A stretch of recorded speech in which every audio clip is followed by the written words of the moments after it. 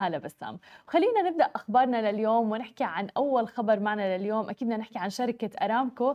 ارتفعت القيمة السوقية لشركة أرامكو السعودية أكبر شركة نفط في العالم خلال تداولات يوم الأحد تحديدا إلى 9.24 تريليون ريال أي ما يقارب 2.4 تريليون دولار تقريبا. بعد ما ارتفع سهمها إلى 42 ريال عقب قفزة الأرباح بنسبة 81.8% عند 148 40 مليار ريال سعودي تقريبا في الربع الأول من عام 2022 وبذلك بتكون ابتعدت أرامكو بصدارة أكبر شركات العالم قيمة سوقية ليصبح الفارق مع شركة أبل الأمريكية نحو ما يقارب 83 مليار دولار حيث بلغت القيمة السوقية للشركة الأمريكية بإغلاق الأسبوع الماضي تقريبا 2.3 تريليون دولار. وفي وقت سابق أعلنت أيضا أرامكو السعودية عن نتائجها المالية للربع الأول من العام 2022 مسجلة زيادة نسبتها 82% على أساس سنوي في صافي الدخل اللي ارتفع إلى 148 مليار ريال سعودي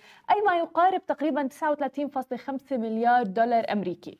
وبذلك سجلت الشركة أرباح ربع سنوية قياسية منذ طرحها العام الأول في عام 2019 طبعا استفادت شركة أرامكو السعودية من ارتفاعات أسعار النفط بشكل كبير جدا هذا العام وتداولها أعلى من 100 دولار للبرميل الأخير.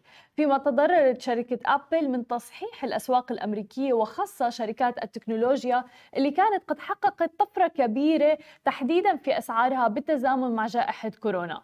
وخلف الشركتين تأتي شركة مايكروسوفت طبعا بقيمة سوقية تبلغ 1.9 تريليون دولار.